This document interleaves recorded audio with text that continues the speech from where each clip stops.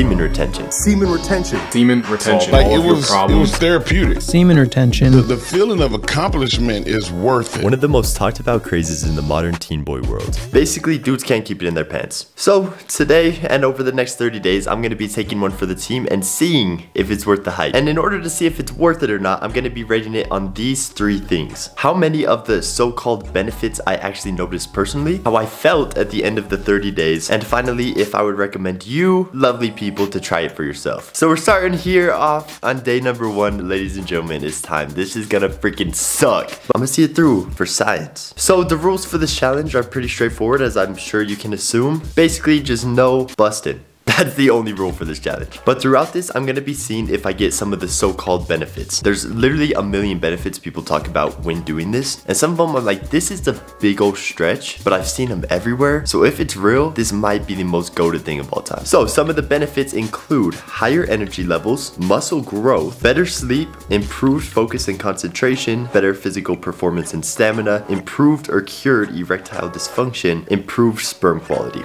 so I think what they're banking on with a lot of these is just that your testosterone is gonna increase, which I'm gonna have to do some research on to see if that's true or not. I don't know if it's gonna, but I guess there's only one way to find out. Day number one starts now. Okay, so I was digging into this because I have nothing else to do with my time, and I like doing a little bit of research um, to see how they're expecting you to get muscle gain due to semen retention. Because that just, it doesn't correlate whatsoever in my opinion. So what I was finding is it's because they were banking on a testosterone increase, which there's data to prove it, but not great. So my sample period is 30 days of when I'm gonna be doing the science experiment. You get your biggest spike of testosterone around day seven, it's showing, but then after that you kind of drop back down to your baseline levels. So if you're doing this for a year long period at a time, you're probably not gonna see higher testosterone for the most part, unless there's other things that you're doing to complement this in order to get higher testosterone. You're probably not gonna see it specifically from this over a long-term period. So I guess that's the first myth debunked. I wasn't gonna be able to prove that anyways because we're not gonna see a difference in my body in 30 days, let's be honest. Now what do I do?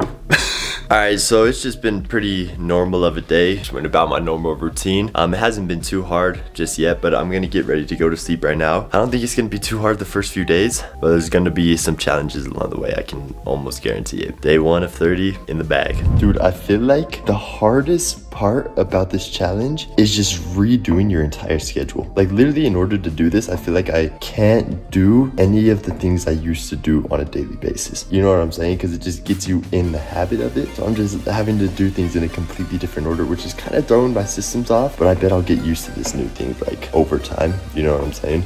It's just completely different from what I'm used to. Overall though, I'm not even gonna lie, I feel pretty freaking good.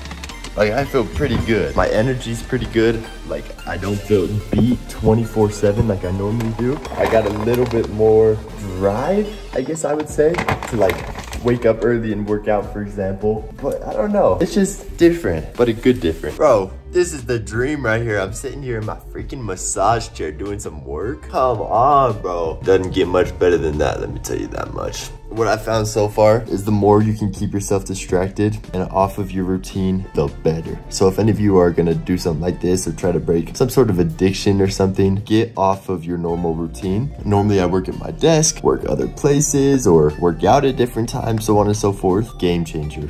Otherwise, you're just gonna fall right back into the habit because it's what you're used to, it's what your subconscious mind does. You're gonna go right back to it. Well, I don't know why I don't do this more. This is freaking nice. Good morning. I just woke up. Um, I am not feeling great.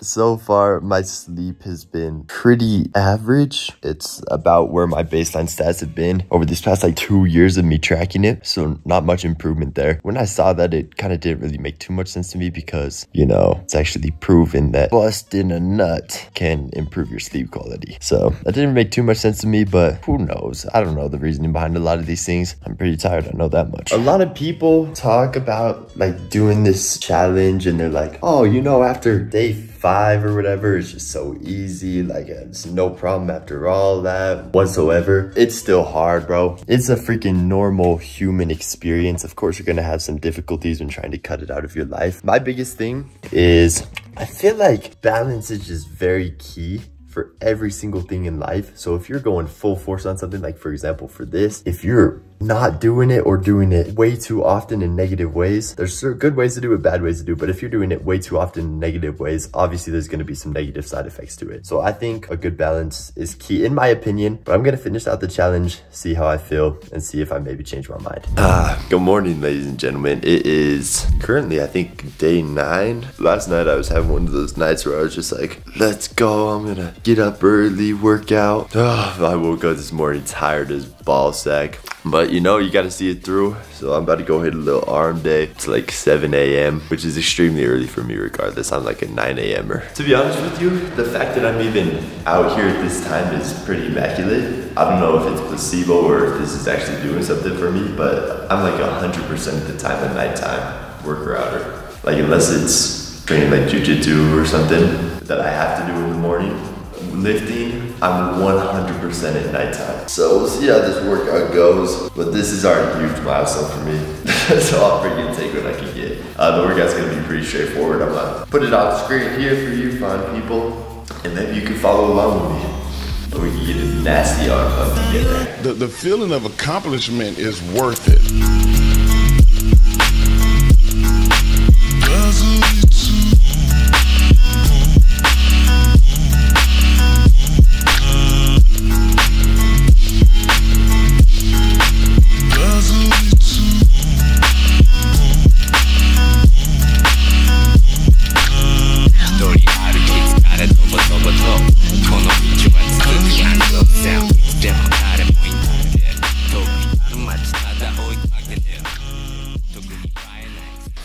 Successful workout. I barely made it out alive. But you know what I'm saying? As long as you do it, that's all that matters. I feel great now that it's done.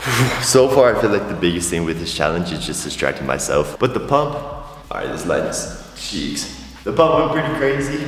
Can't complain. So success. Success. I have to eat. I haven't eaten crap yet, so I am starving. I will say I've never struggled necessarily with like negative self-pleasure watching bad things, you know what I'm saying? Like, this is just a hard thing because it's a normal part of life. You know what I'm saying? And there's benefits that come with doing stuff like that, whether it's in your relationship or as long as you have a healthy relationship with it. So it's like you lose parts of that. So that's one of the main downfalls I've noticed so far because that's a very intimate thing. And so you do lose that as long as you're doing it in the right way. But I don't know. I guess we're just going to have to see if the pros outweigh the cons. But I ain't doing this my whole life. I'll tell you that much. All right. It's, I don't know what day it is. It's one of the days. I'm going through it, my boy. I am going through it right now.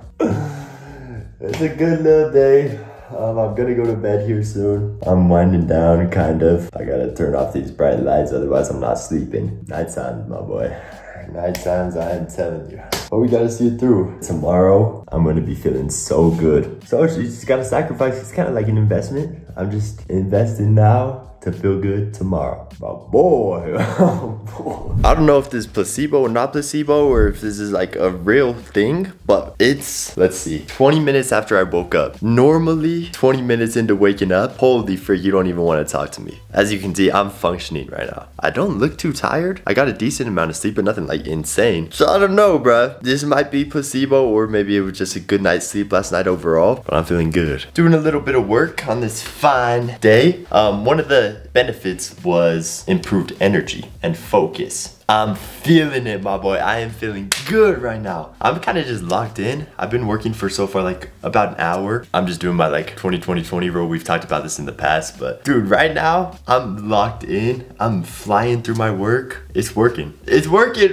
I'm saying it, it's working. It's doing something to me. Or maybe I'm just an animal these days. I'm feeling pretty good, my boy. The daytime's always the easiest part of these challenges. And when I'm alone, the easiest part of these challenges, but there's sometimes that's hard. But if it's like this all the time from doing this, bro, I'll do this 100% of the time. Just kidding, that's a lie. I won't do this 100 I'll do it periodically. I'll sacrifice. So I was just realizing, oh frick, I'm just about at 30 days of this challenge. I kind of forgot about it, I'm not gonna lie to you. I started filming other videos and I was like, oh shoot, forgot I was even doing this challenge really. I forgot to film for it. But don't worry, I didn't fail. Anyways, there were two last points that I had never touched on, or so-called benefits. Erectile dysfunction. I never really had erectile dysfunction, so I'm not sure if it cured that or not. Maybe it has, maybe it hasn't. I could see it doing it though. I think most of the problem with erectile dysfunction is you're watching naughty content and it's giving you a false perspective on women, causing you to not be pleased when you're with an actual woman, so on and so forth. So I think that's most of the reasoning there. And then the other one was improve sperm quality. Um, I never did a sperm test. I never have. I probably should at some point just to make sure, but I can see why it would improve it. You're not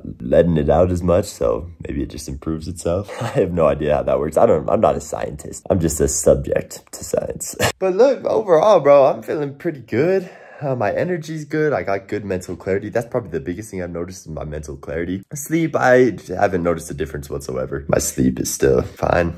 I, I still sleep good. Um, but yeah, the mental clarity, focus, and energy levels out of this world. All right, so it is day 30. So I mean, technically I'm cutting this challenge a little bit short because I should be finishing on day 31. Same thing, I gotta get this video out, so I gotta cut it one day short, don't kill me. Um, how am I feeling, you might be asking? Great. Um, some of the benefits I saw great improvement on, kind of like we've been talking about, energy, focus, clarity, all that. Other ones, they might be kept. Testosterone increase, Probably not. I haven't noticed any big difference there. Um, erectile dysfunction, semen quality, I have no idea. But honestly, if I'm getting benefits such as energy, clarity, focus, it is so worth it 10 times over for me. 100% worth it. Now, the things I'm losing to get those, uh, definitely not worth it. But there are some pros and cons to it. So I think you could take the principles you learned here and implement them in other places where you might need to cut out of your life, such as naughty content. Overall, I would recommend this challenge to people, especially if it's an unhealthy habit in your life, I totally recommend it. If it's not an unhealthy habit and you do it moderately and you can moderate how often you're doing it, so on and so forth in a healthy way, not worth it. But if you need help and you feel like it's a problem in your life and you realize it's a problem in your life, I recommend it. Anyways, follow me on Instagram, ladies and gentlemen.